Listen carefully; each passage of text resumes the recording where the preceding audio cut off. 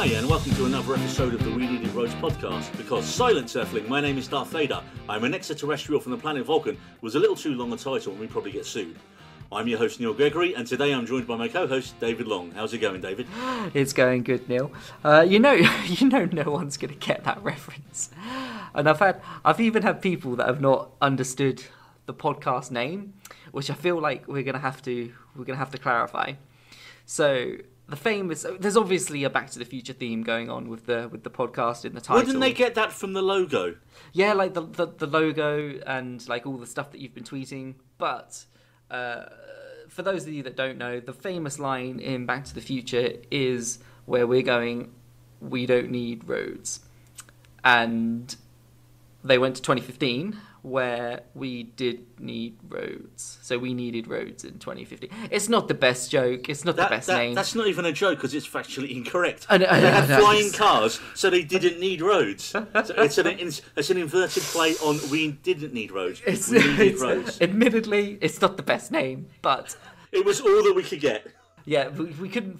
All other all other podcast names were taking from us. So And with that, we're on to what's going to be coming up in the show today. In our new section, we're going to take a look at developments in Netflix's adaptation of Neil Gaiman's epic Sandman series, and David will round us off with news about the HBO Game of Thrones spin offs. yeah, there's been some news from the Game of Thrones prequels front, which I feel like nobody is interested in anymore, which is a real shame because Game of Thrones tanked so badly, nobody now cares about the prequels. But Dunk and Egg has been revealed uh, to be in early development, so I'm going to be touching on that for a little bit. Also, in the What We've Been Watching section, I'll be discussing two films that both deal with issues resulting from asteroids being blown up with Love and Monsters and Gerard Butler Comet Puncher. Sorry, that's Gerard Butler's Greenland. And on the TV side of things, I'll be taking a trip back to Pawnee, Indiana for Netflix's Parks and Recreation. David, what have you been watching? Uh, I've been watching MonsterVerse recently, trying to get myself into the groove for Godzilla vs Kong, and I've also finished The Crown, which I'm going to just slightly touch upon, uh, tell you how whether I liked it or not. Do you want to get into it, Neil? News. So, first up, we have casting news for Netflix's much anticipated Sandman adaptation, with relative unknown Tom Sturridge taking the lead as Dream, aka the original Morpheus. And although we know very little about the actor at this point, he definitely looks a part. Uh, from there on, there's some inspired casting choices with Game of Thrones Gwendoline Christie, Brienne of Tarth herself signing on to play Lucifer herself, one of Dream's main antagonists throughout the story. You have the casting of Sanjeev Bhaskar and Asim Chaudhry as Cain and Abel. Um, that's another masterstroke as they're more known for their comedy and sitcom work, so their casting is definitely going to bring a fresh angle to the characters. More up in the villainy stakes, you've got Logan, main villain Boyd Holbrook, taking on the role of the Corinthian, one of Dream's early adversaries. And where we be without yet another Game of Thrones actor out of work, Charles Dance coming in as occultist Roderick Burgess. Now, once mentioned as unfilmable, many have tried to make Sandman into a film and TV show before, with the most recent attempt helmed by Joseph Gordon Levitt that stalled in 2016 after three years in pre production. The original comic ran for 75 issues, so in theory the show could run for seven seasons if needed. Uh, David, do you know much about the Sandman? I know absolutely nothing about it. Why was it deemed unfilmable? Right, so Sandman essentially begins with a being called Dream. Uh, Dream is one of the Endless, and I think it's got a lot in common with previous Neil Gaiman works like uh, American Gods. So he's an all powerful being, more powerful than a god, and um, he just shapes and influences reality where he goes. So it's essentially like a super powered Thanos, but a bit more benevolent. Uh, but it starts, the very first issue, with Dream being captured in an occult ritual and held prisoner for 70 years. Now, on his escape, he sets about rebuilding his kingdom, which has fallen into disrepair in his absence. Uh, the comic really began as an elaborate fantasy while adding in elements of classical mythology, and as the story progressed, we see how Dream and his siblings shape all our realities at their whim, and essentially humanity was just pawn- we were just pawns to them. I mean, it's really epic fantasy of the highest order. Right, so they couldn't film it because it was just the visuals would have been too expensive. I, Like, th- I that's think why it was deemed unfilmable. I think it would never work as a film because there's too much plot and story to fit into even a trilogy. I mean, it was a 75 comic arc. There's no way you fit that into uh, even three films, I think, and do it justice. And yeah, like I say, um, visually, I think the effects work would just not have been there in previous uh, attempts. Uh, but with the Netflix money behind it, I'm a lot more hopeful we're going to get something that lives up to the hype. Right, yeah, well, it sounds interesting. I mean, uh, what can I expect? Can I expect something like American Gods? I think it'll share some DNA with that purely just because they're both written by Neil Gaiman, and um, that whole kind of base storyline of mythic beings with unimaginable powers, uh, wielding their destinies, and like the small human characters being little flies that are barely, you know, even noticed by the uh, dealings of these godlike characters. But also, it's really good. It's really funny. It's really dark, and I can't wait. It's one of those comic books that was regarded as like the peak of the genre, like Alan Moore's Watchmen. You know, everyone's like, Sandman is is one of the great last un, unfilmed works, and uh, now hopefully we're going to get to see it. Yeah, man. Uh, well, it sounds it sounds like it's going to be good. I'm I am looking forward. You've definitely sold that sold that to me. Excellent, good, good, good. And uh, I think you've got a bit of news for us about some more HBO Game of Thrones spin-offs. They've got they've got the two two new spin-offs uh, currently in the works. There's House of Dragon, which I think everybody kind of already knows, and there's also the newly announced Dunk and Egg, which is going to cover the tales of Sir Duncan the Tall and Aegon the Fifth, who's also known as Aegon the Unlikely. He was mentioned in Game of Thrones a few times, and uh, Egg, the name Egg, was mentioned when. Uh, if anyone can remember when Master Aemon was dying, his last words were, Egg, I dreamt I was an old man. Or something along those lines. That's this egg. That's the egg from Dunk and Egg. So we're going to get that tale. There's not really much that we can say about it because it is in very early development. Uh, if you're interested, you can read uh, A Knight of the Seven Kingdoms, which goes through all of Dunk and Egg's tales. Uh, it's going to cover events in Westeros' history, such as the Blackfire Rebellion, uh, the Tourney of Ashford. There's going to involve trial by combats. Like a good trial by combat, can't go wrong with a good trial by combat. Having said that, though, David, I, I'm probably not going to read the books because I still want George R. R. Martin to finish writing bloody Game of Thrones. It's it's only about 11 years now since he started writing it, so I'd just like him to finish that before he dicks around with anything else, if I'm honest. Yeah, I mean, I think I think a lot of fans are getting impatient with him, but you know, you've got to think it's an author's work. He's not doing, you know, he's not doing it for the fans. He's doing it for himself. It's his, it's his work. It's his project. You can't write rush somebody on his project. If it's taking him a time, it's taking him time. And I quite like when George R. R. Martin on his not a blog he mentions that he's struggling to write. He has days like normal people do. He's so relatable. He has days where he says, "I just can't get anything done today." I think a lot of fans, though, I, I think they they don't want the Robert Jordan syndrome where he actually, unfortunately, you know, carks it before he finishes the book. Yeah, I mean we're gonna get we're gonna touch upon that later in this later in this Definitely. episode. But uh, yeah, Robert Jordan did sadly die during during uh, writing. So, what can you tell me so far about House of the Dragon?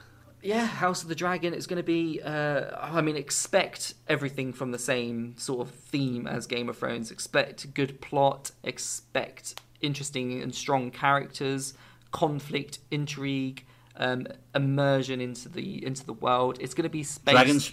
on oh, and a lot of dragons. It's going to be based on civil war between the Targaryens. Uh, the Dance of Dragons is is what it's going to is what it's called. And I don't want to get too much into like the plot of the show because you can read about it in A Fire and Blood, which is another one of George Martin's books. Well, it's funny you should mention that because I've I'm about halfway through Fire and Blood and I got so bored and basically gave it up. And this is where I think the show's going to run into a little problem, and it's purely because we- we've discussed this before we started recording that um, it's not a book; it's a history of the Targaryen timeline, which means as much as you can go with the story, it's it gets it got so repetitive to me. There will be a good Targaryen king, then there'll be a bad Targaryen king. Then there'll be a couple of good ones and there'll be peace. Then there'll be some bad ones and there'll be war. And it just I was reading it going, Oh, this is a good one. Oh, that's a bad one. And it just got boring and repetitive. I think it depends on how you look at it. I th- I, I personally, I, I listened to it as an audiobook and I, f- I found it fascinating. I thought how they presented the information uh, from you had certain sources all covering the same event. So you had a source from uh, a maester, you had a, a dwarf uh, jester or whatever he was, who was also they and they all had different varying uh, depictions on events based off the political or Yeah, you're, not, um, you, you- you're still not really selling it to me, to be honest. Um, what what has piqued my interest in the show though is because they're a little bit further along. So I mean, from what I remember, they basically just kept the sets in uh, Ireland from Game of Thrones originally, and rent kept renting them out to use them for the new show, which. Um, this is now going to be the first one out the gates by the looks of thing. But it is the casting of Paddy Considine as King Viserys, um, Yeah. which is just awesome casting. I mean, Paddy Considine is basically awesome in everything he's ever in. So that's definitely going to get me to watch a show, even if it wasn't a Game of Thrones show. I would watch it because he is in it. He's that good. Yeah, yeah. I mean, there's definitely some strong, some strong actors that are already tied with the project. I mean, uh, Matt Smith's on board, Paddy Considine, as you've already said. Uh, Uh, Olivia Cooke, Cooke, from yeah. Ready Player One, so it'd be great to see her doing more. That'd be Yeah, uh, Emma D'Arcy and uh, Eve Best are all um, are all tied into the project. So there's some serious acting talent there that's going to be involved. And uh, to be honest, I'm just hoping to see uh, Balerion the Dread make the uh, make the big screen. My boy Balerion, he's um, if you thought Drogon was Your cool, boy. Neil, in Game of Thrones, wait until you see Balerion. I don't know. You see one dragon, you see them all. Just imagine, just imagine, just ah, he's. I guess it is just like the same dragon, but like a big, a big dragon. He's huge. And now moving on from that, there's been some breaking news that's come out of the Last of Us TV show. Pedro Pascal has been cast as Joel, and Bella Ramsey, the little badass who also plays Lyanna Mormont in Game of Thrones, is playing Ellie. Neil, your reactions on the casting? Uh, I think it's great. I mean, clearly Pedro Pascal knows where the bodies are buried and has the best agent in the business in a minute. And yet, Bella Ramsey, she's also just been in the second series of his Dark Materials, and she was very good in that as well. But yeah, I mean, she made her name as Lyanna Lyanna Mormont. Um, absolutely just kicking ass when she was about eight. It's gonna be it's gonna be really exciting to watch. I mean, have you have you played The Last of Us, the game, Neil? Uh, no, I'm Xbox only. I'm afraid, my friend. Okay, well, prepare to cry your eyes out at the beginning. I mean, it's gonna hit you harder than Up. I do know that the creative team behind it did Chernobyl, so I'm not expecting it to be a laugh riot. Yeah, no, it's gonna it's gonna be dark and it's gonna be sad. And potentially the best show of the year. Maybe you're definitely gonna shed a tear, man. What to watch? If you're sick of dour, depressing apocalypse films, then Love and Monsters is a welcome respite from the usual doom and gloom. Admittedly, after mankind successfully destroys an asteroid headed for Earth, the resulting fallout does mutate all cold blooded animals into massive monsters, and humanity essentially gets wiped out.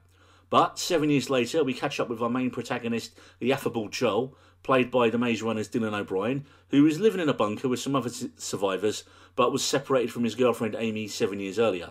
They still talk via radio, and Joel decides to make the week long trip to Amy's bunker, which would be fine, except Joel has zero survival skills and a history of freezing in critical moments.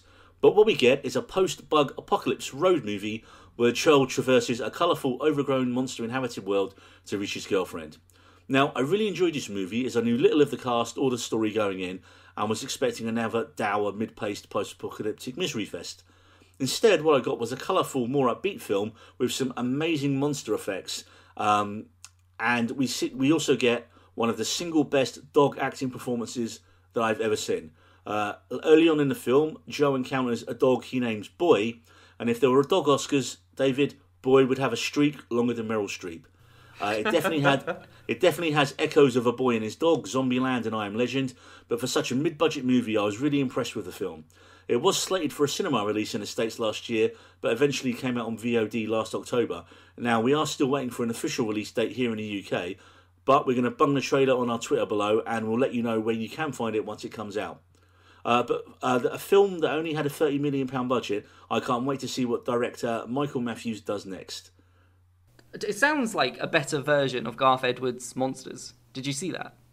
Uh, yeah, I mean that was more an arty film. It, it, it does sound a bit like Monsters, but this is if you think if you take the general basic idea of the two of those films, but then throw in the, a bit of comedy. It's not as comedy as Zombieland, but it's still pretty funny. And I just I just think for the budget they had and the the, the monster effects are amazing in it. I mean, there's just a, a gigantic frog that just looks wouldn't look out of place in Star Wars, you know.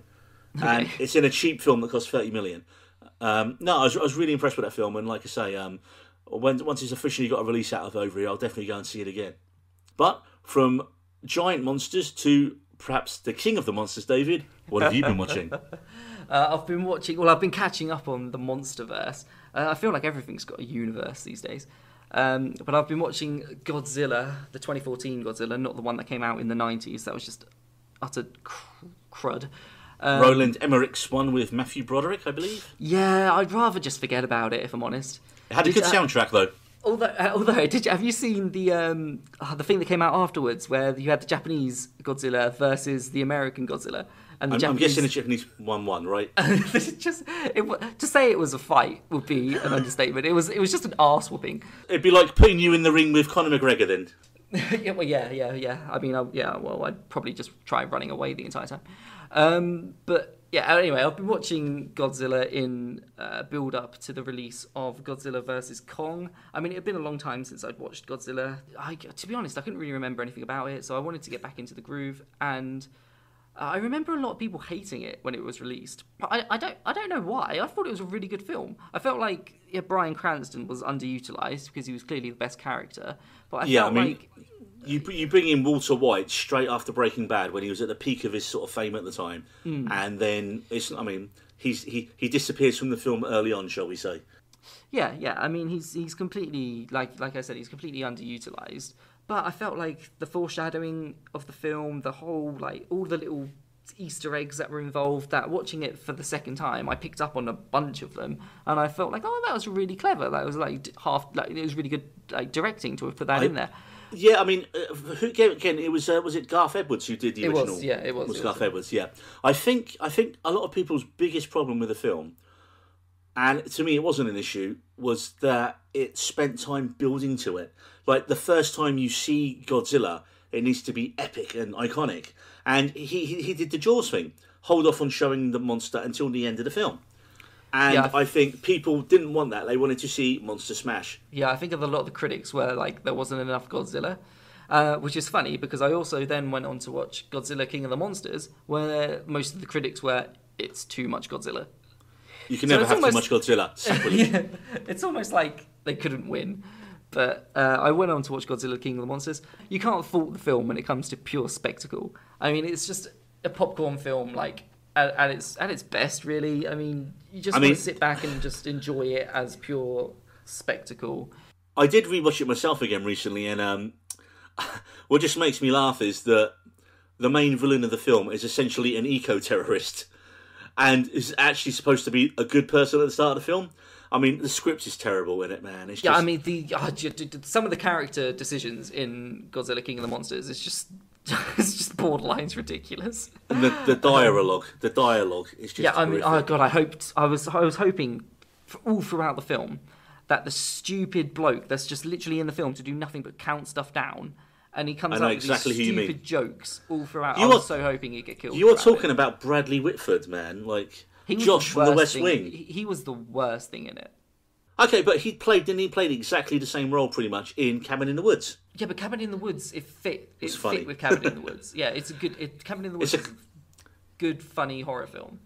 I think, yeah, yeah. I, I With Godzilla King of Monsters, it just didn't fit with the to- with the film at all. He was just this annoying, obnoxious character who I wanted Godzilla to burn. Fair enough. I, I, I think out of all the monster verse films so far, actually, the biggest problem they have is they always try to put too much emphasis on human characters and what they're doing.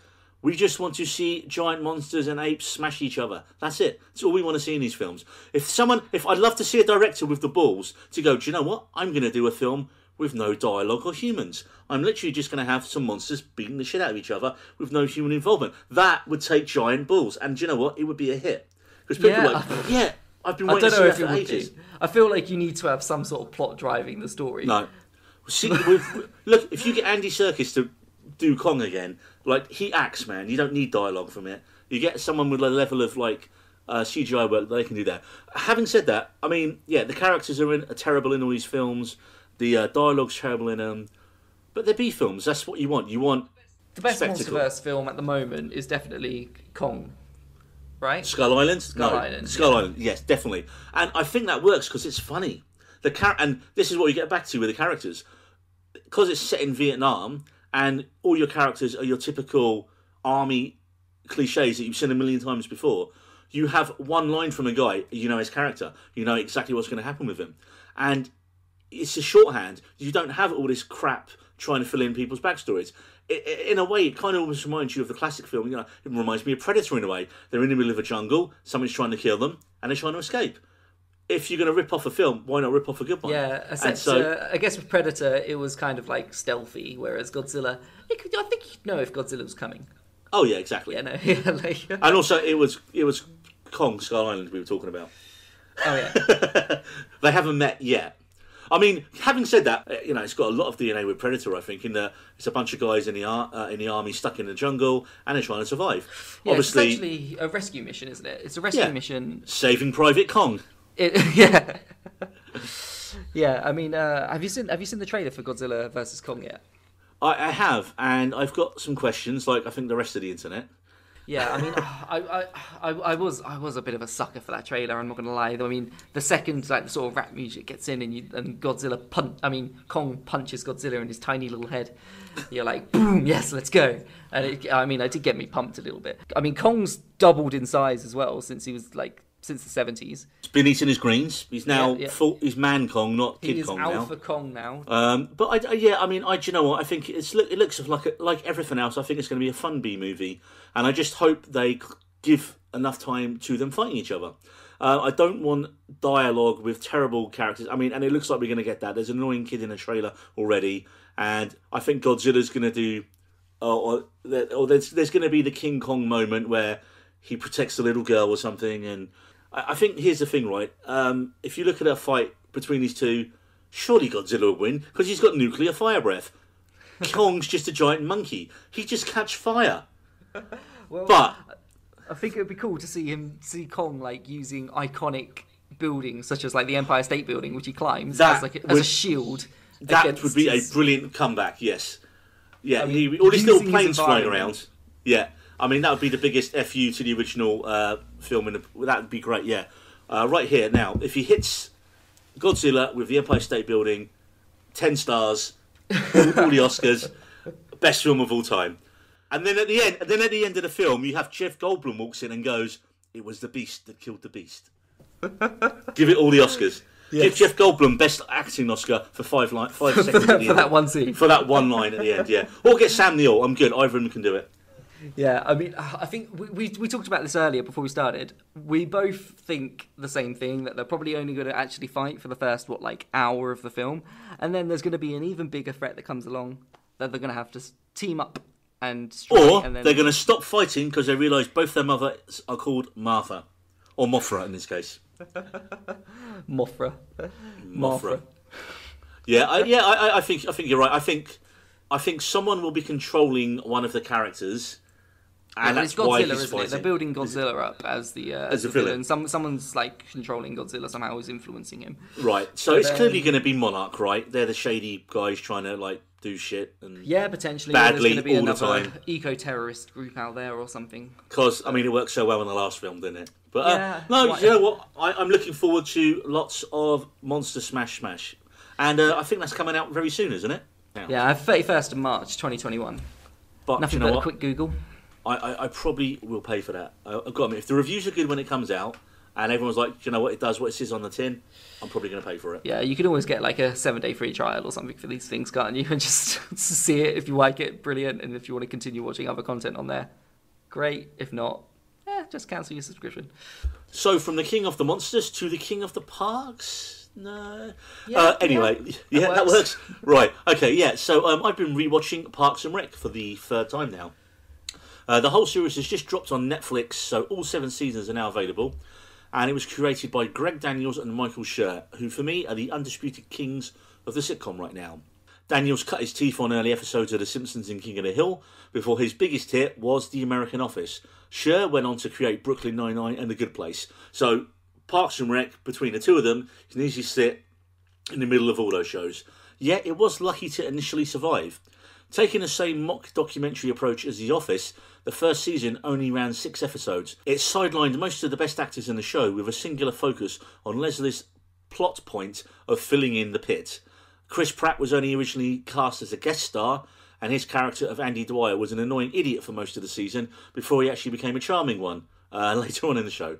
But seriously, the biggest problem with season one was fuck Mark Brendanawicz. This character was initially set up as Leslie's unrequited love interest, but the character was so slimy and douchey it just didn't work at all. But as I tell many people, get through to the second season, and come on, on Netflix it's barely over two hours. Brendanawicz is slowly phased out. Jerry and Donna are actually given more than a few lines, and April's sarcastic, grumpy teen is given much more screen time. Chris Pratt's Andy Dwyer becomes much more likable once the showrunners decided to keep him around full time, and they somehow somehow their attempts to keep him in the show just make it even funnier going forwards. He's an idiot, but a likable one, and his overwhelming positiveness is infectious. Of course, where would we be without the man, the myth, the legend, Ron motherfucking Swanson? The writers give Ron much more to do with the introduction of his crazy ex-wives, Tammy 1, Tammy 2, as well as his love-hate relationship with Leslie, and his much more larger love affair with eggs and bacon and whiskey. Ron motherfucking Swanson. Is that his full Um, name? That is, that's literally his middle name if you look it up on the internet places. Uh, but for me, what really put the show over the top was getting rid of the shitty Brendanawicz, and you add in Adam Scott's Ben Wyatt and Rob Lowe's Chris Traeger. Now, they initially they were brought in as adversaries for our beloved Parks Department, and Scott does portray a similar kind of character as Brendanawicz, but he's much more of a geek and much more of a better match for Leslie. He's also just much more charismatic and efficient with the dialogue he's given. Rob Lowe is on comedy gold form here as the ultra positive and help obsessed Chris Traeger. Parks and Recs has been described as a warm hug of a show, and all the characters are generally well written and positive, except for their constant torturing of Jerry. But if you need that pandemic pick me up and you haven't seen this show before, it's also got one of the most perfect final seasons I think I've ever seen. Originally, it was only going to run for six seasons, but it was given a reduced order for a, tw- uh, a seventh season. And what it enabled the showrunners to do was give each character a fully realised send off and complete the arc of every outstanding storyline thread from the show. It feels like a victory lap for a show that started life very shakily as a poor man's office clone, but ended up one hands down one of my all time favourite sitcoms. David, have you seen Parks and Rec? Well, I knew you were going to start talking about it, so I started watching it. I'm on the second season at the moment. Uh, like Do you hate Mark in. Brendanawicz with a fiery I, vengeance? I already kind of do. Yeah, he is a slime. He is a scumbag. But like, I like. I already like the sort of the political beats that it has. Like, it hits some real key issues that are out there, like gay marriage, for instance, in a lot of American states. you are now, of course, referring to the gay penguin marriage. Well, yeah, the gay penguin marriage in season, the first episode of season two. I mean, I feel, I feel like stuff like that in in these sitcoms is just it's genius. It, like, it, it needs to be included. And don't forget, this show is um, 11 years old now, so that episode's about 10 years old, you've just mentioned. So they were doing it 10 years ago, which is great. Yeah, yeah, I, I, yeah. I think it's yeah, it's a good show. It's good. I'm enjoying it at the moment. I'm going to continue watching it. And trust me, it'll only get, it only gets better as it goes on, and it's just got one of the most perfect final seasons, I think, of any show. It does not jump the shark, David. It gracefully slides over the shark. It does. It does not jump swimming. the shark. Please tell me you know the phrase jump the shark. What are you talking about? You don't know the TV phrase jump the shark. What are you on? No, no. Go on. Okay, so when a show, a good show, becomes bad, it's referred to in the term terminology as, "Oh, the show's jumped the shark." Jump the shark is originally termed from an episode of Happy Days, where Fon- Fonzie himself literally jumped a shark on a motorbike, and that was a point where everyone who watched Happy Days was like, "That's bollocks. We're not watching it anymore." Hence, jumping the shark. So when a very good show does something terrible that it can't recover from, it is called jumping the shark. Wow, you learn something new every day. Yeah, so leading on from the parks department to a family that has a lot of parks, I've just finished season four of The Crown. Uh, Neil, have you watched anything about The Crown? I've really not bothered with the Crown, David. I've got to admit. I mean, a drama about the royal family literally sounds like one of the last things I'd I'd want to watch ever. Right. Well, I, I thought the same thing. I mean, I'm not. I wouldn't. I wouldn't say I'm a royalist, but I don't hate the royal family either. I think they they do what they do for the country. What you what you learn about is the the family drama that went on, that goes that that went down in this family. I mean, it's like it takes every other drama to to a whole new level because it is the family. It's it But- is the royal family. But how much of this is constructed? Because obviously, I mean, I guess cer- certain story points are known because it's history, but other points they're just imagining conversations and building to what they think Yeah, happened, I mean, right? it is it is good to say it is, it is good to say that this is obviously a dramatized version of events that have happened during during the reign of Queen Elizabeth. In fact, wasn't there a little uh, fuss a while ago with this most recent season where I think it may have even been the royal family themselves wanted Netflix to put up a disclaimer at the start of the show saying this is fiction Yeah, yeah, they would because they, they again did, a yeah. lot of people go and it's true a lot of people see something historical uh, set in the past they think it's real these days yeah based on actual events. Well, yeah, people are getting dumber. Uh, quick, quick side note: I was watching um, For All Mankind, Apple TV's alternative NASA show, and it starts off in the '60s, and we were watching it with my parents, and obviously it's it starts skewing away from what actually happened in history to it's the show's own storyline. So when they've built a moon base, I literally one of my parents said, "I don't remember when they built the base on the moon." I was like, "That's because it didn't happen." But because it's been presented in a historical context, people think it happened or it's real, and that's one of the dangers of a show like The Crown. Yeah, yeah, it did definitely fall into that. Um, but with with with the Crown, uh, season one and two, uh, they change casts every every two seasons. There's a completely new cast because we're going through different generation, uh, a different time period in the Queen's life is what we're going to be focusing on. Uh, season one and two, I thought was hands down the best season, uh, mainly because they had this fantastic power dynamic that was going on between the Queen and Prince Philip. It was the dynamic between the Queen as the head of state and the Queen of England and Prince Philip as a male and a husband and his role in the family as the head of the family because he's a man and Prince Philip's this masculine's man's man kind of gentleman and with the queen being the queen the crown always took precedent and there was this really brilliant it was a power vacuum that was happening between the two that sort of deteriorated when olivia colman took up the role of queen So- elizabeth in So what you're saying is the shows one and two are good, and then it's just kind of limped along since No, season so three. I wouldn't say I wouldn't say it limped along. No, season three and four are still good. Olivia Colman's seasons are are good in their own way. So season three, I felt like it became very much. This happened during. This was a, an event that happened during the Queen's reign, and then this was an event that happened during the Queen's reign, and then this was a happen event sort of thing. It My was my very my, much along my most my biggest question is when do they stop doing it? And this is the thing what's going to So there's going to be two more seasons. There's going to be two more Right. seasons. Now, here's Uh, the thing, right? I, I know for a fact now they are going to.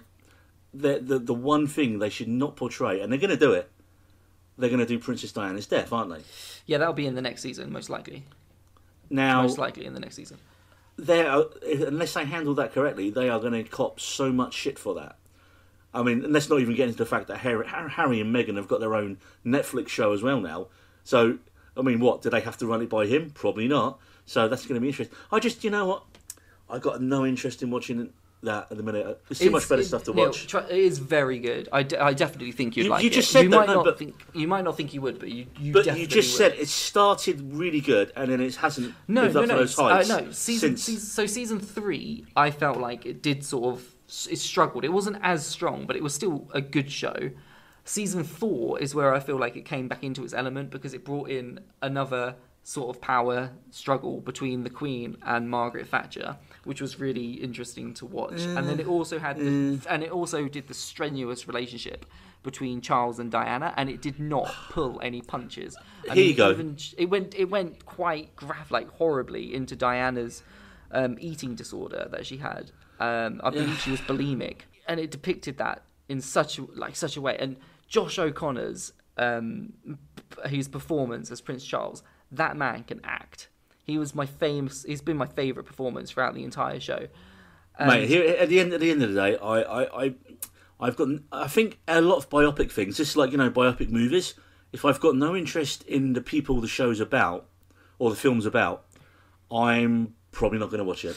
I feel I feel like that's such a oh, it's, that's a, such a shame. I shouldn't like a narrow way of looking at it because you sh- just because you're not interested in the factual people, like you're not interested in the royal family. Yeah, but then I'm just watching a. Uh, but then I'm yeah, just but that watching doesn't a mean drama. that it's a bad show. It doesn't mean it's a bad show. I'm not saying it's a bad show. I'm just saying I've got no interest in it. I I, I, I, cl- I can clearly see that it's won loads of awards and a lot of people like it, but it's just personal taste. I got.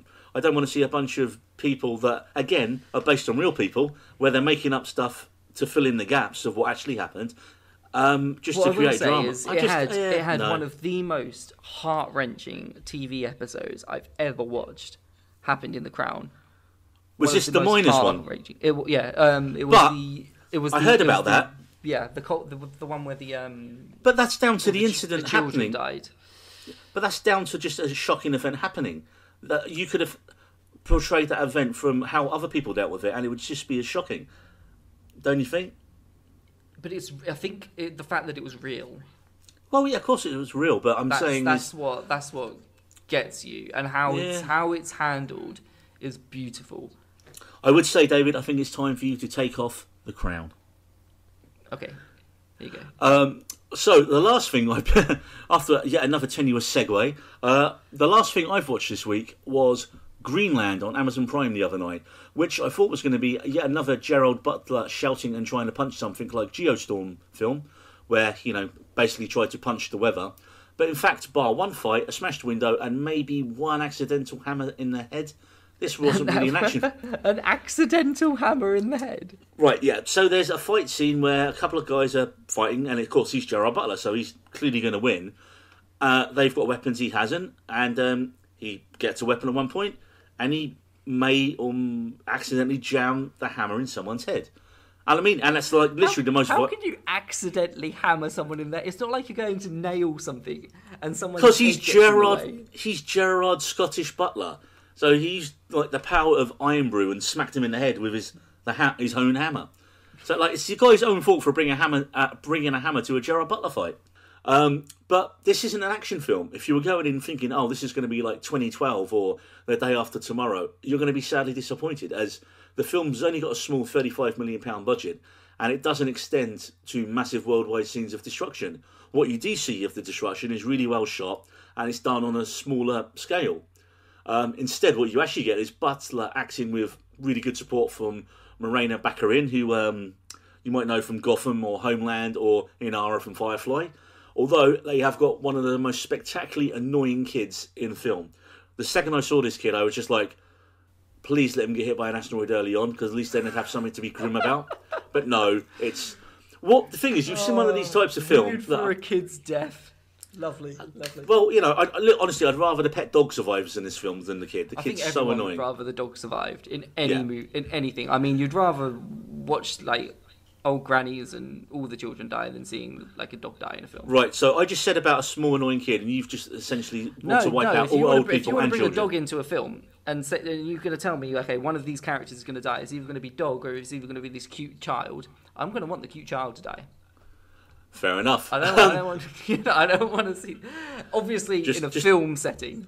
David, obviously, yeah, I was about to say, glad glad you clarified that with in a film setting and just not advertising child murder in general. Um, but the thing is, if you've seen one of these films, then you think you know what to expect, right? Oh, the family's going to go out and they're going to try and make it to safety, and they're going to run into bad people here and bad people there. But you know what? The script really surprised me in places. It didn't stick to all the typical turns, and you know, for a for a B movie with Gerard Butler in it about a giant asteroid, I was surprised by like the many different obstacles that the family had to face in the film. Definitely kept me guessing till the end. So um, yeah, if you have the time, Greenland is on Amazon Prime right now.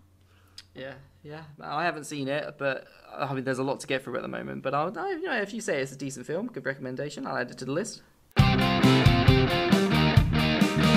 Main feature. So on to today's main feature, and where it's been a shit show in the last year for cinemas, uh, TV has literally been a lot of people's saving grace. We've had all the streaming services out of our ears, uh, with Netflix, Amazon Prime, Apple TV Plus, uh, Disney Plus launching last year, and um, it's just TV has definitely been a lot of people's saviour in the past year. Yeah, Disney Uh, Plus could not have chosen a better time to launch a streaming service. I mean, literally, yeah, the week after lockdown started is just yeah. Um, Perfect but with, timing.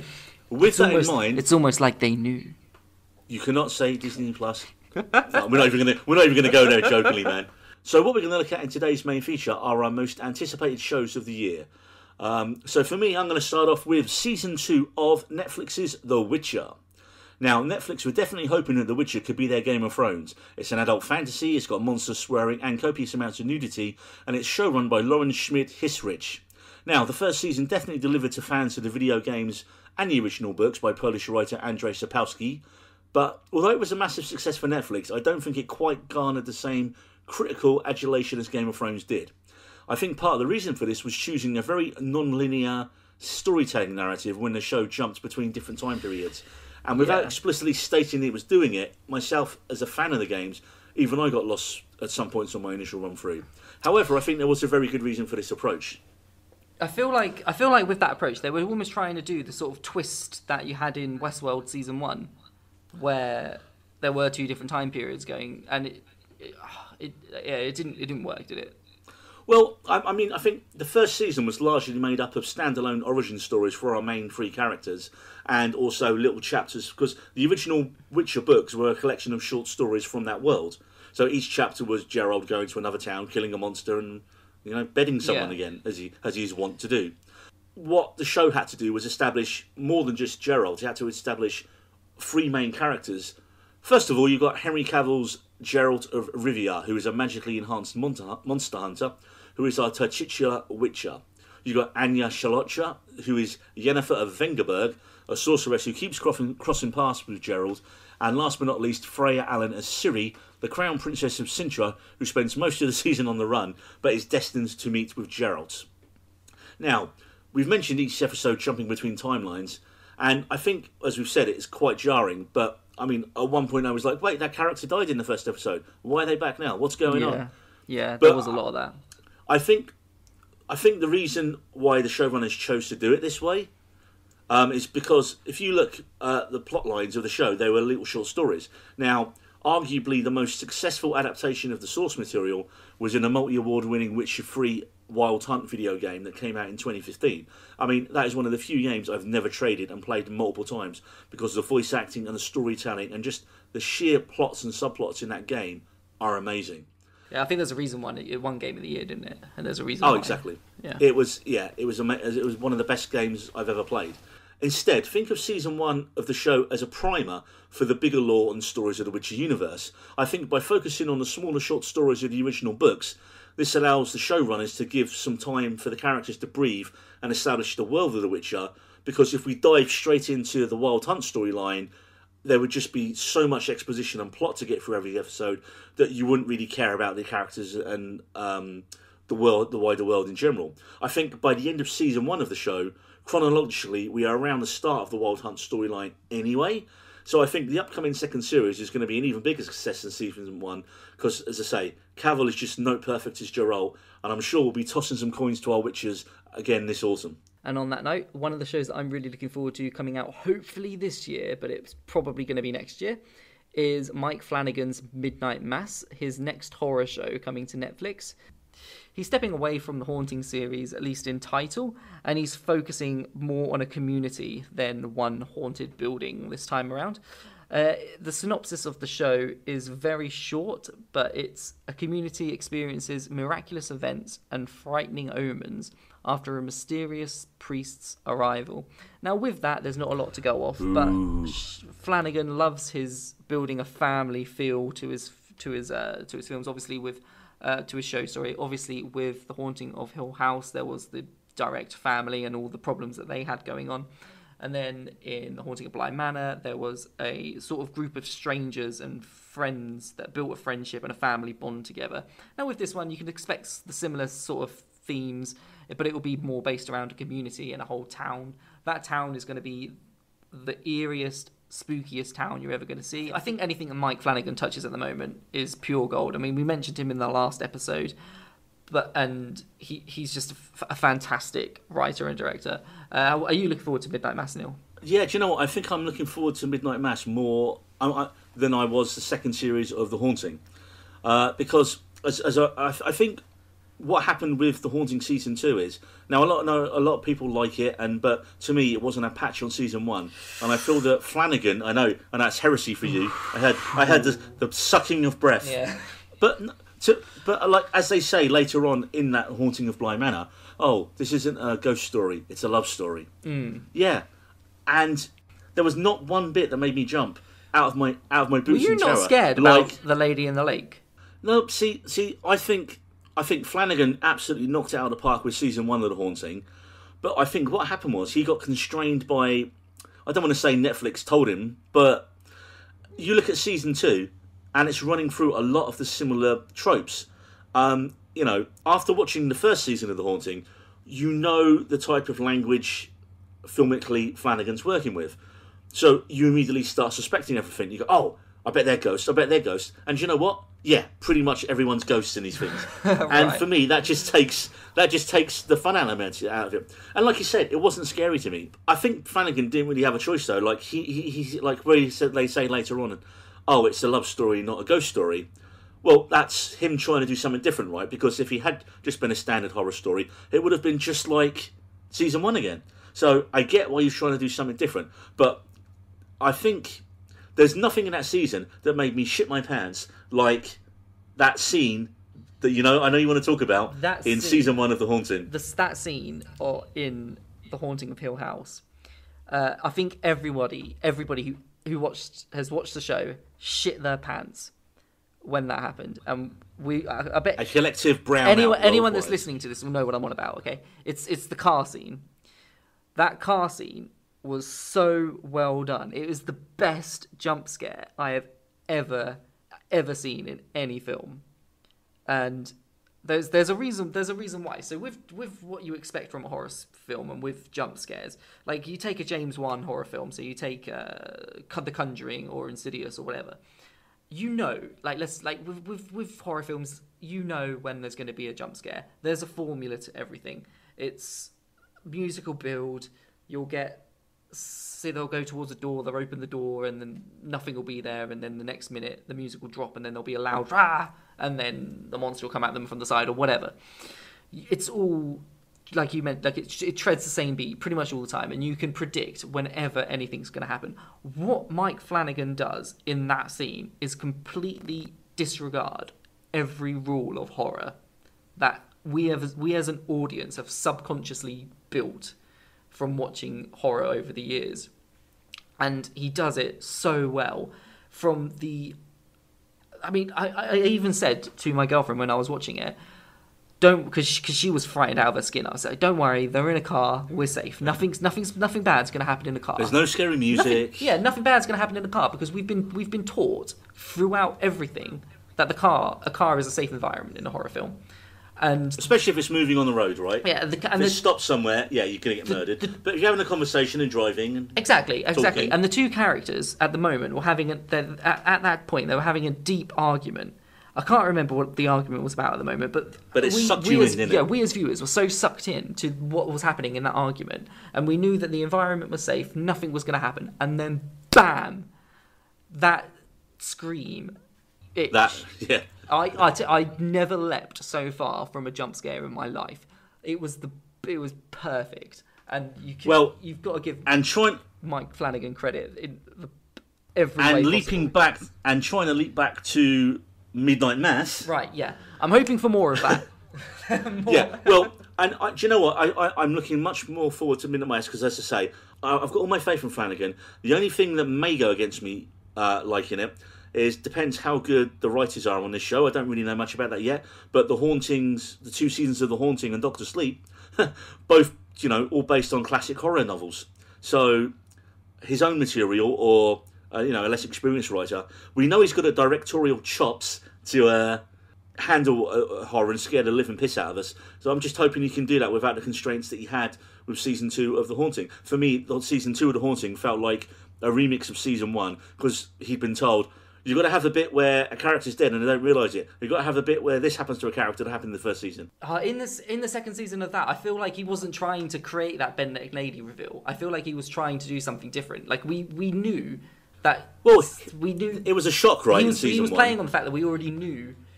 with about the well scene in season two. Yeah, I know. Yeah, with the well. I think. But no, it was a the shock in it. What Wait. was the shock was that it just happened literally right as she That turned up. That was what the That shock. wasn't a shock for me. For me, that was just like, uh, bothered. As I was watching that, to be honest. Man, you are you are uh, a heartless being. I I, I want to say if there is anything in Midnight Mass which is as well done as that Bent-Neck Lady reveal and the jump scare from Haunting of Hill House, then it's going to be a bloody good show. And from one bloody good show to another show where our characters kill lots of people when there's lots of blood. Uh, and that's it. I'm talking about Barry season three. Now, David, do you know anything about at all about Barry? Only what you've told me previously, but I've not seen it. No. Right, well, let me tell you about Barry then.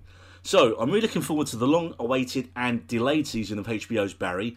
Um, this was created by Alec Berg and Barry himself, Saturday Night Live, and all round general comedy legend Bill Hader. Now, it's only a 30 minute show, so but it is a dark crime comedy. It starts off well enough as a quirky black comedy, but by the end of the season one, it goes to some spectacularly dark places, and it really elevates Barry to one of the best shows around. I mean, we're talking Breaking Bad good here. So, what's Barry about? Well, Bill Hader plays Barry, a professional hitman who is tiring of his job and the unglamorous lifestyle that comes with it. He's always looking for a way out, but keeps being pressured into more jobs by his handler, Fuches, played to slimy perfection by the great Stephen Root. On one job, Barry has to kill an actor and instead befriends him and ends up at an acting class. Initially terrible at acting, it does awaken something in Barry, and he decides he wants to become an actor, as he's able to tap into the dark recesses of his past for motivation. There he meets Sally Reed, an aspiring actress played wonderfully and ignorantly by a great Sarah Goldberg, whose sole focus is only on herself and becoming a famous actress. Barry then tries to maintain both parts of his life while keeping them separate from each other. Uh, a special shout out's got to go to Henry Winkler, the Fonz himself, as Gene Cusimano, who again is in career best form as Barry's acting coach and mentor. Has he uh, jumped any sharks in, in this one? Yes, you've learned. He does not jump any sharks. Um, I will say the show has another star making turn from Anthony Carrigan. He's the most overwhelmingly positive and nice and least violent gangster you will ever meet from Chechnya called NoHo Hank. He's just every every episode you see this guy in, you honestly fear for his survival in every episode because he's such a bad fit for the lifestyle he finds himself on. Imagine Tom Haverford from Parks and Rec, but suddenly dropped into gangland things, and that's what it's like. You're looking at this guy who's more interested in like nice clothes and like the internet than he is on like actually running a Chechen mob. Sounds like a lovely gentleman. He he is one of the nicest bad gangsters you will ever meet. um, I mean, the show really does take a dark turn with a shocker of a season one finale, and what happens in that finale sets up an even larger plot point that just hangs over Barry's head for the whole second season. So, unfortunately, season three was due to start filming last summer, and as recently as last month, filming still hadn't begun. But there is good news because in that layoff time, Hader confirmed the other day that the team had only not finished writing all of season three, but a, season, a fourth season of the show as well. Now, HBO execs are already hinting that a season 4 renewal is likely for the show due to its success uh, in the first two seasons. And even more good news, filming on season 3 finally started just a couple of days ago. So from a hitman who likes from a hitman who's trying to stop killing people to a bunch of cops who keep killing people. Yep, it's the BBC's flagship drama Line of Duty season 6. Now, I know one thing and that's catching Bent Copper's fella. And with that line, the man, the myth, and yet another legend, Ted Hastings was born. Now, I will admit I was very late to the Line of Duty party, having only just binged all five seasons in the middle of last year. And this was after various other podcasts and family members had told me it was amazing. Yeah, I think I resisted it as I was still quite snobby about, oh well, it's just another BBC procedural police drama. I was very, very wrong, David. Yeah. I think I think I put Line of Duty up there as probably one of the best shows of all time. Of all let alone best- time? Of all so you time. put it up there with like the Breaking Bads and the Wires. And... Yes, Right. hands down. In fact, Wow. I would say um, it's definitely got the DNA of what I would say is like a British Wire.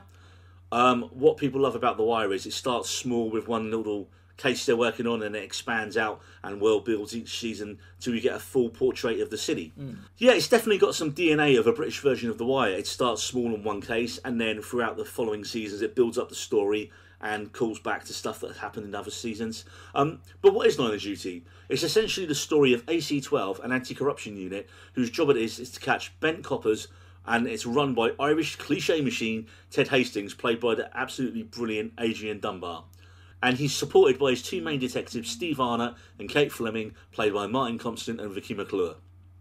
Now, what makes Line of Duty stand out from the run of the mill police procedural is each season features a guest star or two who will be the focus of a corruption investigation by AC12. Season 1 had Lenny James, seasons 2 and 3 had Keely Hawes with her now iconic portrayal of Lindsay, Lindsay Denton. Season 4 had Thandie Newton's DCI Roz Huntley, while the last season featured the always excellent Stephen Graham. And for the upcoming season 6, we've got Kelly MacDonald joining the cast. But what makes Line of Duty so good, other than the guest stars? Well, Jed Mercurio's writing, for one. The interrogation scenes are like Shakespeare, they are legendary. You have the criminal, on, the would-be criminal on one side. You got really passionate there. You were like, it's Well, like it's so well done. It is. I mean, it's it's just two. It's, it's usually three to four people in a room talking, and you are on the edge of your chair watching this because it is so well written. These interrogation scenes are like an action scene in another show. This is the bits you're waiting to. The, the bit where they have everyone in the table and they go through the same lines they have to say, the same bit of legalese every episode, and then they hit play on the recorder and you get that tone, and then the camera cuts, and every it's just just that tone makes you uneasy. But the whole point is they have to prove are these people guilty or not. And in this world of Line of Duty, it's never black or white. No matter how much Hastings, the boss, thinks, it's straight. They're either guilty or they're not guilty. And as the seasons progress, we slowly learn more about the personal lives of our three main characters. But also the smaller side characters are really well written. We get constant callbacks to plot lines from earlier seasons. Uh, the acting is top notch across the board, and the show's focus on cases rather than personal lives of the characters just pays off in spades. It just shows you how committed the characters are to solving the cases, and we only get small glimpses into how the events of the show affect their lives. I love that plot threads from earlier seasons can come back in later seasons and then take over as a main plot line of that season. I mean, bar the main three characters, and even then, the show tries to cast some doubt on them. Anyone can be corrupt, and anyone can be killed at a moment's notice. The main plotline since day one has been trying to expose who is running the OCG, an organised crime ring that has links to the very top of the police and the government. And if you watch the show, just like the rest of us, you are still wondering who is H. David, do you know who H is? Why won't you tell me, you bastard? It's been five seasons that I watched in about two weeks, and I need to know. I can't wait another year or two because apparently there's going to be more seasons. Look, it's just it's. It, it does. I'm amazed like- you've not seen it. It does. No, I. It is one of those shows where I I want to. I've wanted to watch it, and I probably would really enjoy it if I did watch it. And there is no real excuse for why I haven't watched it. I just haven't. It's been what like five years now, and I still haven't watched it. And seasons one to five of Line of Duty are all available right now on the BBC iPlayer. So you've got no excuse, David. Well, I've had no excuse anyway. I've, st- I've just not. Yeah, but now it. they're just at a click of a button, all of it in one go. Another reason you have no excuse is there's only six episodes a season. fifty minute episodes. Uh, mostly 50 minutes, closer to an hour, and there's a couple of season finales that are closer to 90 minute films. Oh, okay. So from Ben Coppers and Crime to, well, nothing really links with um, the next two shows David's going to be talking about, and I believe you got a twofer for us, two shows for the price of one. But that's a hell of a price. And what are the shows, David? Well, you couldn't think of a segue, but I like the effort there, Neil. I'm going to be talking about Amazon Prime's epic fantasy series, Lord of the Rings and Wheel of Time. Now, a lot of people will obviously know of Lord of the Rings, and like, like if I was to pass a normal person in the street, they'd understand what the Lord of the Rings is. But not many people would have heard of the Wheel of Time. So, the Wheel of Time is a epic fantasy written by Robert Jordan and of course, he wrote the series called The Wheel of Time with the same name. Uh, the showrunner is going to be Rafe Judkins, who worked on Agents of S.H.I.E.L.D. and Chuck. Uh, the show is going to be very much based around that chosen one story arc. Uh, there's this man who is chosen to defeat this evil that is in the world that is currently prison imprisoned. However, his like emergence isn't a good thing. It's bad that this person has come along. Uh, The chosen one's called the Dragon Reborn. And Neil, I think they're taking a very similar approach to like The Witcher and Game of Thrones, where they're casting one name actor that you know, and then a lot of unknown actors. So the name actor in this one is uh, Rosamund Pike, who's playing Moiraine, and um, Probably most well known for uh, Gone Girl. yeah, yeah, uh, and um, the Emond's Field. And Doom. She was awesome in Doom. she was in Doom, Doom. was she? Yeah. Okay. With The Rock Yeah. and monsters and Mars yeah. and Hell and Doom. Yeah, I know. I've just, yeah. I've just, I think I've just And- blanked that film out of my memory. But it Um, had Karl Urban as well. Well, anyway, Anyway, back to Middle Earth. so the Emond's Field Five are all relatively unknown actors, and I think the show is definitely, especially well, for the first season anyway, is definitely going to play on who is this drag, who is the Dragon Reborn. So I don't want to get too into the plot and spoil it for you because I have. I'm currently reading the books at the moment. There's definitely going to be that mystery behind who is the Dragon Reborn. If you f- have a look at their Twitter account at the moment, they have recently tweeted some of the most amazing con- concept art for the show. I mean, uh, Shadar Logoth uh, looks so good. It looks so. For, for the uh, for the for the uninitiated, David, what is Shadar Logoth? It is a. It's pretty much a deserted city. It's a deserted city which has been tainted, and it j- just if you look at the art, it's just you just feel so real and We might have to uh, retweet that on our official Twitter there, David. yeah, it, yeah, yeah. It looks it looks beautiful. I mean, a lot of the concept art in this show looks good. If they can get the if they can make it look as good as the concept art does, then we're going to be in for a real treat. And uh, we've also with the showrunner uh, Rafe Judkins, he's going to have a lot of detail to go off because one thing that a lot of people criticised Robert Jordan about from the Wheel of Time is his he loved detail. He will literally write about the string that someone has tied their buttons together with. That's how in depth he's gone in creating this world. So You have literally hit the nail on the head of why I actually stopped reading. Um, yeah, it's not just like you. Well, I think it's a it's a problem that epic fantasy writers tend to have, right? I mean, I, I actually got into Wheel of Time when I finished Game of Thrones all those years ago. And I was like, what is like Game of Thrones? And everyone was like, oh, Wheel of Time. Wheel of Time. Okay, cool. How many books are there? Oh, there's about 13 at this point. Yeah, okay, thirteen cool. a prequel. Yeah, and that was my biggest problem. I thought the first three books in the series were amazing. Really set the stuff, like you say, epic fantasy, hero's journey type of story. I really liked how it was setting up. I couldn't wait to see where the story was going. And then we got about two or three books of just describing everything in such minuscule detail. Do you want to know what type of mead they're drinking? Do you want to know where it was brewed? Great, you're going to find out. Do you want to know what colour the button was on some jester's hat? Because there'll be a sub story in about five chapters about it. Robert Jordan Um, did the- love his detail, but I think all of that, everything that you're mentioning there, the critics, like the critical aspect of his writing, it only goes to be proved to be a good thing when it comes to recreating it as a show because every, like how immersive you can make that show with the amount of detail that you Well, they better get the bloody button colour right. That's what I'm saying. no, yeah, but I mean, for, for, for me, it, um, the problem is the plot just stopped dead in those books. I forget. I think I was around books five or six, maybe four, five or six, somewhere around there. And the plot just, I was like, it has been like s- 170 pages and nothing of any note has happened. There's been a couple of meetings and some people talking and nothing has happened. But they've told me what the ceiling looks like in a room, what the bushes look like outside.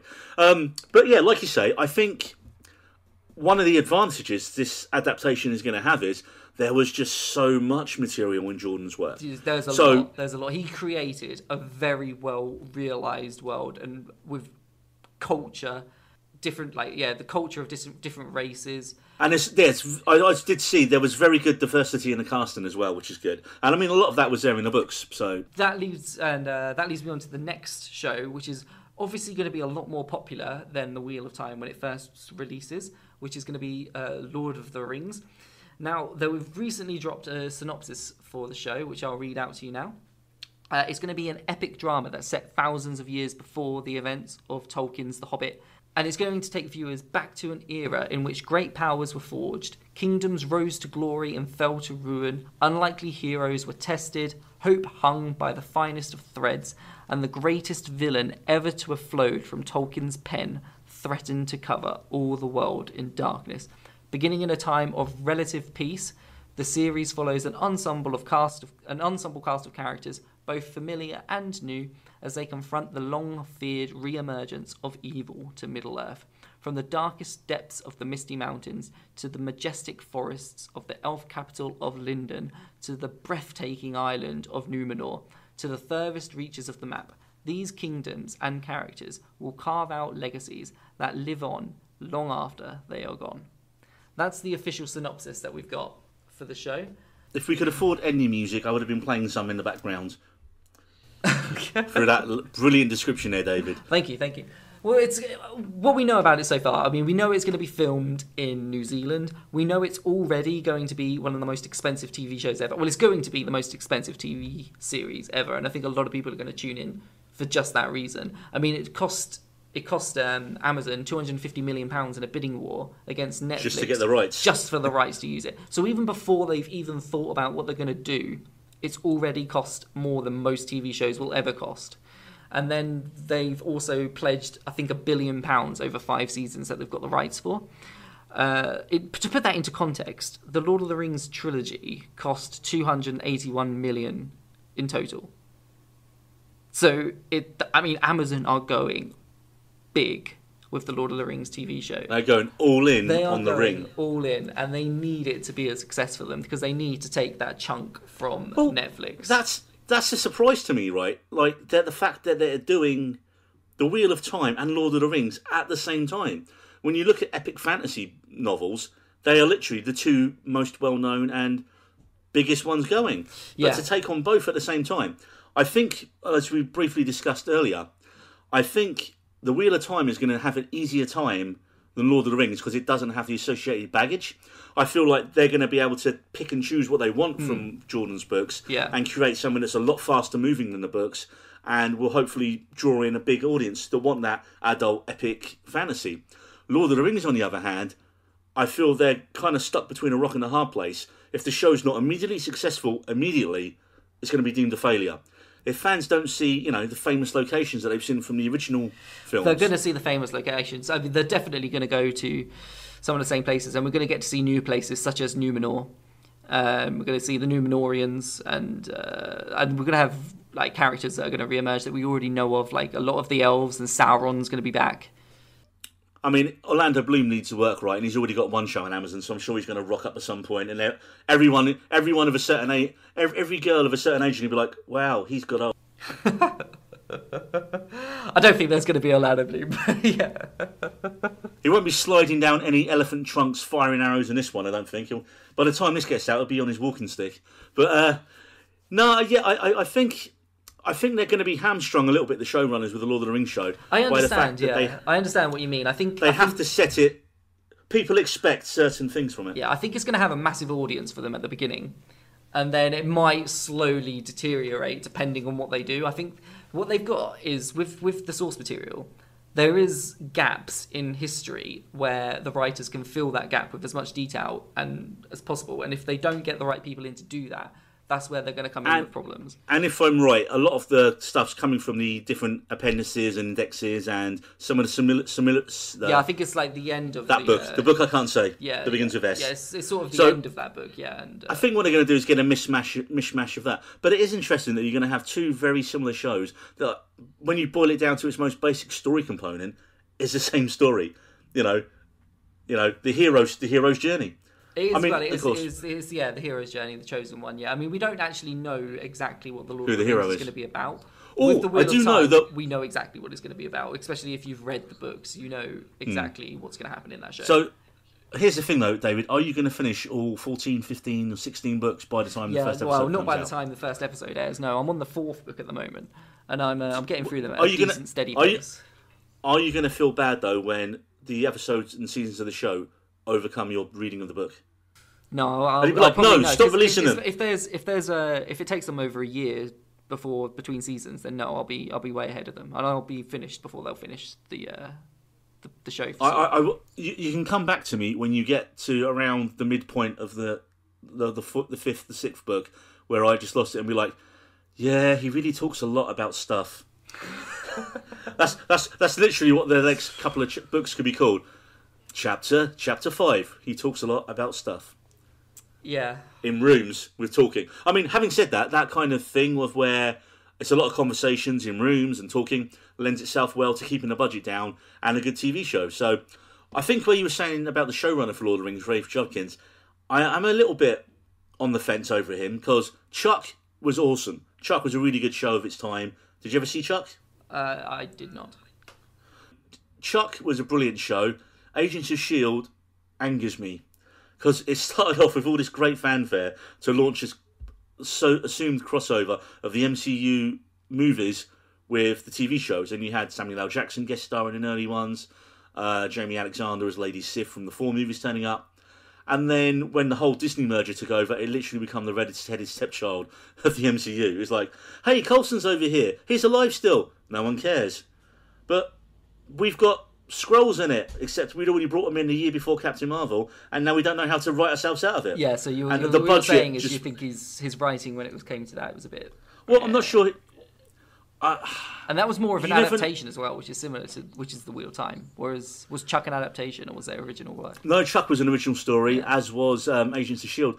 The, the problem with Agents of Shield is when it was good, it was brilliant. But by the last couple of seasons, I mean, I just I I could barely follow. It. Like it was, I was really just like, over it by the end. I like had to watch it to see how it finished, to see if they was going to do anything cool to end it, and they didn't. So perhaps perhaps it's a thing where he's cut his teeth on this show, and he now knows those are the mistakes not to make on. I mean, I don't think I think there's going to be a lot more people than just him around, like keeping an eye on it. So um, Well, I think with the Wheel of Time, they do have a showrunner that has worked on previous projects, unlike the Lord of the Rings, which I thought was bonkers. The two showrunners on Lord of the Rings, Patrick McKay and John D. Payne. Have you heard of either of them before, Neil? I have not. No one has. No one Although- has. They literally have nothing on their IMDb page, and they're being given they're the the showrunners The keys for the to the most kingdom. expensive TV show ever. That's bonkers Perhaps, to me. There's perhaps, something- perhaps they know where the bodies are buried. Um, but and, and, and another thing that I think the Wheel of Time might have a slight edge over with the Lord of the Rings is its magic system. Its magic system is well realized, understandable, and does anyone really understand? I, I, aside from like proper, proper like people that are Tolkienists. yeah, yeah, yeah. I mean, could you could you tell me why Gandalf has magic and nobody else does? I Just off could not. top of your- But yeah. well, yeah, yeah, because he's a wizard. yeah, but, yeah, but why? why He's got a beard why are and there he's only, got a like, staff. Why are there only three wizards that we see in the entire show? I mean, I realise there's the Blue Brothers or whatever. I, I, think getting back to the, the main thing is um, Amazon have put a shitload of money into both of these shows, and I think, as you mentioned earlier, I think fans are going to try and pit them against There's each other. There's going to be that natural competition between the two for sure. which is bizarre because they're on the same network. I mean, I think if Amazon are smart, what they'll probably do is once one show finishes, them. literally the next week the other one will start. Yeah. And so you'll have this like what I'd say twelve to twenty week thing every year of Wheel of Time for three months. Yeah. Lord of the Rings Yeah. for three months. Similar to what uh, Disney Plus are doing at the moment with WandaVision With the and Marvel then shows. Loki's going to come out, and then yeah, It's no, it's uh, Falcon, Falcon and the Winter Soldiers coming That's next. coming next, I okay, believe okay, that's sorry. two weeks after the last episode of WandaVision, Okay. which will then be followed by Loki and then Hawkeye later in the year. I mean, if you, if you make a mistake on the internet about the MCU, you're yeah, going to you're gonna you're gonna so, get burned. Yeah, they'll be burning you at the stake. and Neil, you've got uh, one last show for me, and I believe it's your top pick. Yeah, my top pick for the year is the fourth and final season of Netflix's dramatic pause. Ozark.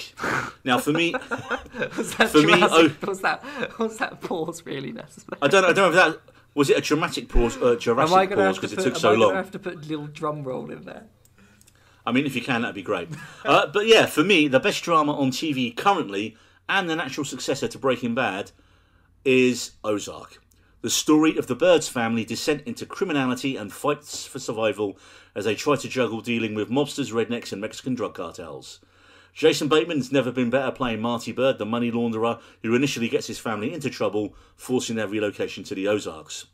But as the seasons progress, his wife Wendy, played by the superb Laura Linney, gets much more involved in their criminal enterprises, as do his children. Now, what I really liked about the first season was that the Byrde family thought they could simply come into town, manipulate all the lo- local rednecks, and that's not what happens. Instead, they find themselves spiraling from disaster to disaster, where by the end of some episodes, it just seems their main objective is to stay alive. One other key difference and positive from Breaking Bad is that the rest of Marty's family quickly find out about the situation they're in and they just have to go with it. The, the teenage children, uh, Charlotte and Jonah, are not your stereotypical annoying teenagers. They have end up helping their parents out and they generally deal with the situation about as realistically and about as well as any of us could in the circumstances. Uh, has to be a special shout out to Julia Garner's searing portrayal of Ruth Langmore, for which she has rightly won the Best Supporting Actress Emmy two years in a row, and you wouldn't bet against her winning a third time again this year. Every line that comes out of Ruth's mouth is like a verbal assault on the ears. I literally, she comes up with some of the most amazingly combative dialogue and some of the best creative insults you'll ever hear. So, if you want a searing crime drama with pitch black humour and you've got a spare 30 hours or so, let's face it, we all do, then you've got to check out Ozark. Yeah, I watched the first three episodes of Ozark about two months ago, and I liked them, but I haven't watched them again. I didn't have that urge to go, oh, you know, I really want to know what happens in the fourth episode. It's sort of just, oh, it was one of it was one of those where it's just petered out for me. Nothing. I feel like it didn't. I It wasn't. doesn't peter out. Like if anything, it peters up. I think I mentioned to this in the last ep- in the last episode where like if if a show doesn't grip me early, I'm not interested. And I believe I insulted your whole generation for not having the attention spans of gnats. Yeah, but you, yeah, but it- with with the amount of content that's out at the moment, that's at our fingertips, I don't want to be spending four or five episodes of a TV show for me to get into it. If an if an What episode doesn't do- get me on the first episode, I'm not interested. But that's terrible. That that means back in the day, before you was born, or when you were like four, when the X Files first came out, people wouldn't have bothered with the X Files because it took a season to get going Yeah, really well. yeah, well maybe, maybe. Friends, maybe. like loads of shows that weren't hits. That's where The we're one at. show- That's where we're at. We've got we've got so much content to choose from, and it take and it, let's face it, it takes up a lot of time. Why would I spend Why would I spend six, se- seven hours trying to get into a show which I know I've been told is good, but then not, but then potentially miss out on starting something else which I'm going to enjoy more, and that would have gripped me more from the beginning. Well, David, I, I, your solution to that problem is you basically watch what I tell you, like on here, because I've seen stuff that's really good. do as I'm told. Exactly. And you look at reviews on uh, you know podcasts like ours and other podcasts that are available out there, and just look at what the critics say. Um, I'll give you a good example today. Right, there's a new film coming out Yeah, but called. dude, the critics the critics said Star Wars: The Last Jedi was good. We're not. We haven't got enough time left in this year to talk about Star Wars now. I like man. how that just brought you to dead silence. No. Yeah. Okay. Well, do you know what? I think there that's almost all the time we have for today. So I hope you've enjoyed this latest episode of We Needed Roads. Uh, we're going to be aiming to get a new episode out roughly every two weeks, and I'd like to thank everyone who listened, downloaded, and shared links to our first episode. And shout outs to our listeners out there, not just in the frozen wastelands of the UK, but also in Ireland, Canada, France, Chile, Israel, and the Ukraine. Uh, we've also had our first listener request via Twitter for our thoughts on Tom Green's psychotic early 2000s film, Freddy Got Fingered. Uh, I think that means you were about eight when this film came out, David. So it's right now on Amazon Prime, and we are going to talk about it next episode. Thank you for uh, dishing away my age there, Neil. But yeah, I'm gonna I'm gonna try and watch it. I mean, Freddy got fingered. It does not sound like a film I'm gonna want to watch. Freddy got. I, I would, I would not watch it with your parents, or No, I'll definitely watch it. But if I'm uh, if I'm gonna have to watch this, I'm gonna give you something to watch as well, Neil, and we could talk about it next. okay. Oh slightly. dear. I want you to watch Hamilton for me. It's on Disney Plus, and I know you haven't seen it, and you've got to watch it. And it, it is about f- over three hours long, but it's amazing. Which seems unfair Give when. Freddy Got Fingered is a solid 88 minutes. Yeah, but Hamilton is good. Okay, I don't think I'm gonna like Freddy Got Fingered, where I know you're gonna like learning about the ten dollar founding father without a father that got a lot further by working a lot harder and by being a self starter. Okay, you're gonna like it, Neil. Trust me. I, I will watch it if you promise to never rap on this podcast again. I can't make that promise, Neil. So I guess we've both been given our watch lists for next week. I feel like David's might be more of a punishment watch than mine, as like you said, everyone generally loves Hamilton. Uh, I'll tell you, the reason I haven't watched it is I haven't had three hours where I can actually have the TV on loud enough to have the music blaring out, and I don't want to watch it wearing headphones. So on the next episode, we will be going to our requests, and I will be watching David's request of Hamilton. I just need to find a spare evening with three hours where I can actually have the TV loud enough and not have to wear headphones. Whereas David will be forced at gunpoint, maybe with sticks near his eyes, to watch all of Freddy Got Fingered. Also, we're going to be taking a look at The Vanishing at the Cecil Hotel, Netflix's latest true crime documentary. I'll be looking at Dead Pixels on E4, Apple TV's Servant, and the much heralded Saint Maud. I'm sure David will find shows to talk about as well. Well, I don't know if I'm gonna want to watch anything else after I've watched Freddy Got Fingered. It might ruin media for me forever. Daddy, would you like some sausage? Daddy, would you like some sausage? What? What? Once you've once you've watched Freddy Got Fingered, it'll all become apparent. I don't know if I'm gonna want to know what that means. What that is.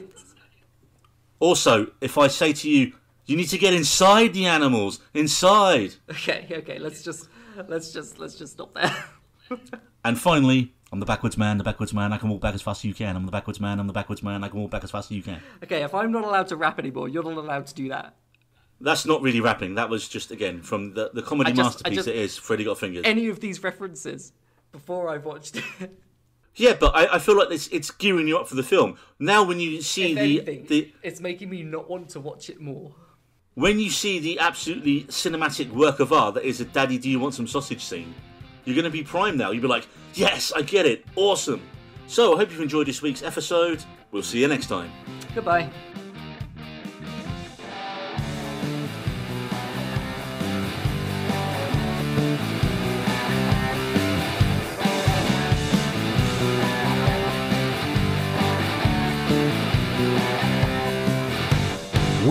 Needed roads.